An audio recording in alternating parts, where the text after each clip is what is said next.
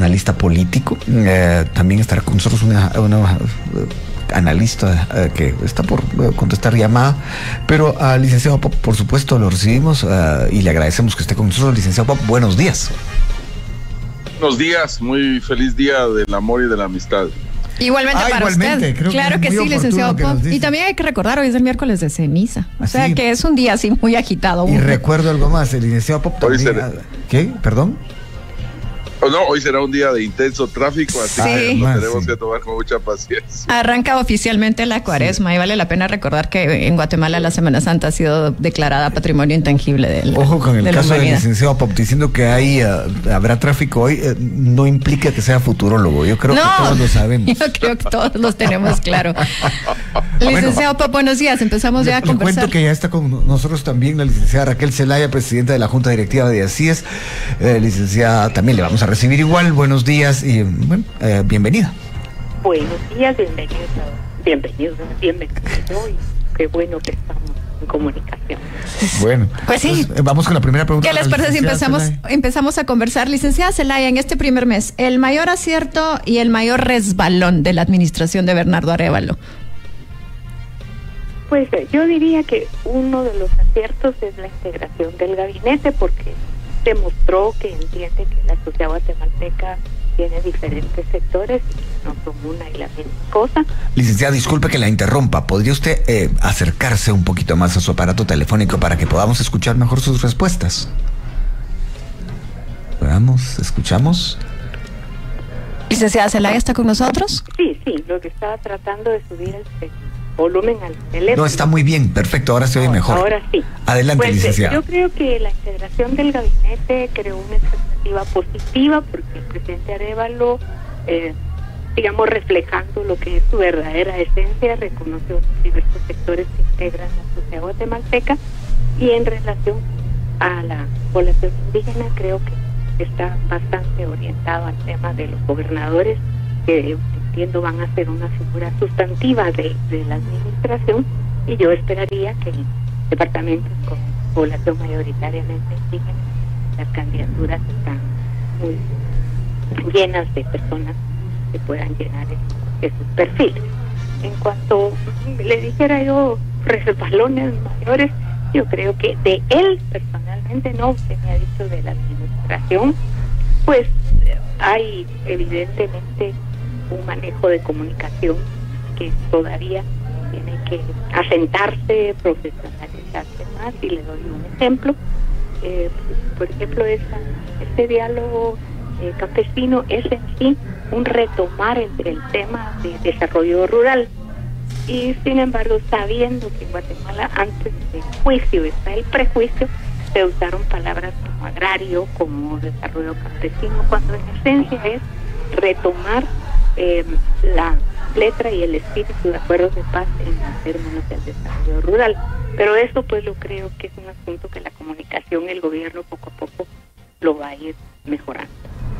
La misma pregunta para el licenciado Pop, el mayor acierto y el mayor resbalón de estos, en este primer mes de administración Arevalo. Bueno, en realidad yo creo que debemos de reconocer cuatro elementos que están demostrando una voluntad y una iniciativa de reforma y de nuevos aires en términos de la política desde el Ejecutivo. El primero, yo creo que fue un mensaje muy potente el que en la primera junta directiva del Congreso estuviera eh, un presidente de semilla y además joven, haciendo la entrega del puesto, haciendo el ejercicio simbólico del manejo del poder. Eso fue muy Reconectando, así es como se ve. En ahí- efecto, y se ahí está estamos. escuchando. Estábamos en eh, el eh, joven diputado que le dio posesión al, al presidente. Estábamos en eso, eh, licenciado Pop. Sí, y, y esto es un mensaje, es una imagen muy potente de renovación y de cambio. Luego el, eh, eh, coincido efectivamente con el tema del gabinete de gobierno, Sin embargo, yo creo que ahí hay un, hay un primer desliz, yo creo que aún no podemos hablar de errores, pero sí me parece que el gabinete además refleja la alianza que desde el inicio y desde el primer momento está haciendo el gobierno en términos políticos. Y él mismo reconoce la falta que tiene en términos de la inclusión de pueblos indígenas en ese, en ese gabinete. Es decir, ahí solo recogemos las palabras del propio presidente que él reconoce que ahí hay una falla que tiene que resolver. Eh, yo, yo sí creo que el acuerdo presidencial, coincido con la licenciada Zelaya, el acuerdo que firma con las organizaciones campesinas es un, es, es, demuestra que efectivamente se estaba trabajando en temas fundamentales como la cuestión campesina. Y esto eh, trae también el, el, el detalle efectivamente de reconocer que es un tema sumamente complicado, pero es un salto importante y finalmente la elección de gobernadores, el mecanismo de transparencia, el mecanismo público, eh, el debate que ya está generando y la participación masiva de candidatos, especialmente jóvenes, mujeres e indígenas en los departamentos, demuestran que es una acción sumamente importante de participación y, estos desde mi perspectiva son aciertos en términos de gobierno. Yo creo que los desaciertos, el mismo presidente, como dijo, o el resbalón, que falta la inclusión en el gabinete, recojo las palabras del presidente, y eh, creo que es temprano, en un mes, este, evaluar eh, desaciertos, porque obviamente hay que empezar con impactos y es muy corto el tiempo para eso. En tal sentido, volvemos con la licenciada Raquel Zelaya. Licenciada, eh, todo parece indicar, según lo que todos los ministros que han hablado, también algunos viceministros y funcionarios en general, que se han encontrado con hallazgos de horror eh, en eh, las diferentes dependencias eh, del Ejecutivo. ¿Cómo cree que han manejado eso en cuanto a comunicación y también en cuanto a proyectar lo que realmente tienen que enfrentar? Sí, efectivamente, en ese tema que tanto ha interesado a la ciudadanía guatemalteca en todo el proceso político desde las elecciones para acá, creo que han sabido dar señales de que quieren hacer las cosas bien, de que tienen una intención de ser transparentes, de mantener mucho acceso a la información. Yo sí aquí pondría un, una alerta. Efectivamente eso va a pasar en todos los despachos y creo que habría que escoger casos emblemáticos para llevarlos a las últimas instancias de resoluciones judiciales. ¿Por qué?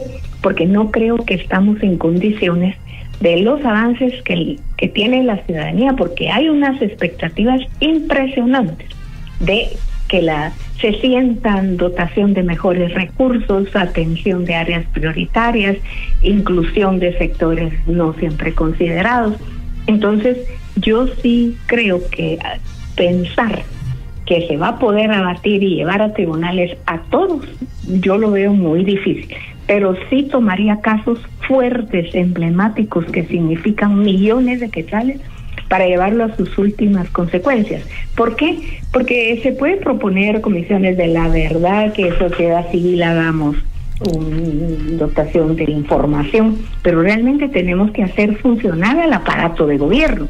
Y en este caso, el primero es la Contraloría de Cuentas, que debiera, así como ahora está dando señales de que quiere cumplir sus funciones, pues yo me congratulo y que siga en esa línea. Pero está todo muy débil todavía como para pensar que vamos a lograr abatir la corrupción en todas sus manifestaciones con los castigos que la ley mm, tiene a la disposición. Así es que le repito, yo haría votos más para un gobierno absolutamente transparente, afuera nepotismos, tráfico de influencias, pago de favores políticos, eh, que no haya nombramientos indebidos, compras como corresponde en la ley de adquisiciones, en fin, hacer una promesa y un cumplimiento de absoluta transparencia en el funcionamiento.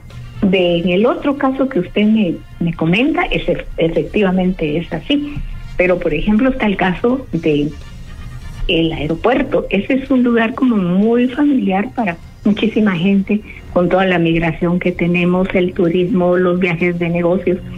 Y es una cosa que uno pedía, es que no es solamente barrer y trapear, que ni eso se hacía, sino realmente cuántos ilícitos hay indicios que se celebraban de gran magnitud, que tienen que ver con crimen organizado. Entonces, repito, modestamente yo no tengo las aspiraciones que en todos los casos se logre dilucidar hasta las últimas consecuencias, pero creo que en dependiendo del manejo de comunicación que tenga el gobierno, hay personas que ya van a quedar señaladas por los claros indicios de tus malas actuaciones en función pública. Bueno, antes de la siguiente pregunta, solo destaco uh, un así lo dijo, pero así en el instante. Dice la licenciada Zelaya, ella ve como emblemático el caso del aeropuerto, en el que eh, no es solo de barrer y trapear, que ni eso se hacía. Uh, así es, eso así lo dijo. Un, así lo dijo clásico. En definitiva, pero vamos con la siguiente pregunta que es para el licenciado Pop. ¿Cómo vio el manejo del episodio con la fiscal general? Me parece que ese es un, ese es un tema que el señor presidente y su, y su equipo jurídico tienen que analizar con muchísimo cuidado porque efectivamente tiene características más políticas que jurídicas.